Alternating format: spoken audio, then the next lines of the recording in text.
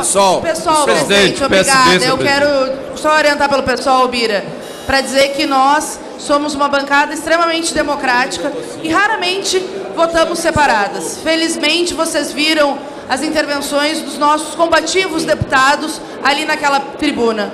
Glauber Braga, Edmilson Rodrigues, Marcelo Freixo, que demonstraram posições distintas. Então, o pessoal vai liberar a sua bancada. E eu quero dizer a todos que, liberando, porque pensamos em relação a caminhos diferentes, tenham a convicção que todos nós, os dez parlamentares, Áurea, Talíria, Edmilson, Sâmia, David, Erundina, Marcelo Freixo, estamos com vocês.